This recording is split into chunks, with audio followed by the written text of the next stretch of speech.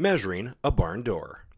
Barn doors have become a popular item in our store, and each single one takes on its own color and character, but where does one start? There will be some questions we'll have to ask you when you order your door, but this video will help you be one step ahead and will simply just fill in the blanks. The items that go with our barn doors are the actual door itself, a header which goes above the door frame, the sliding track, and the casters that hold the door on the track. So let's get started. First, have an open space with plenty of wall space on one side or another.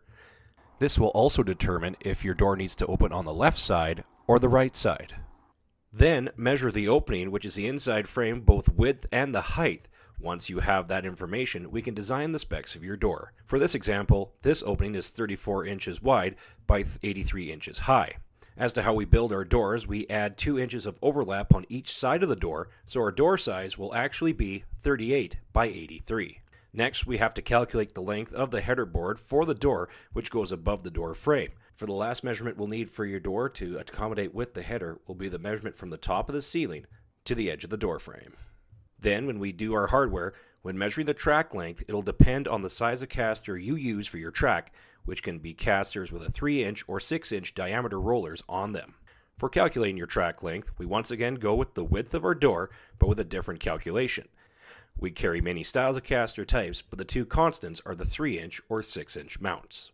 The last things we need to know when starting a barn door order is the flooring type, so we can install the correct style of floor guide for your door to slide properly.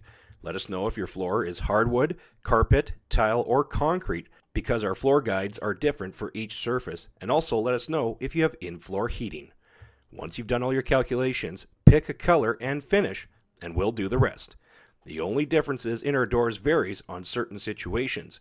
If you have case molding around your door frame, which will alter our sizing, or you don't have overhead room on your door frame, in which we'll have to design a custom header for your door. If you have more door questions, Feel free to contact us anytime on our website or follow us on social media at Two Birds Furniture.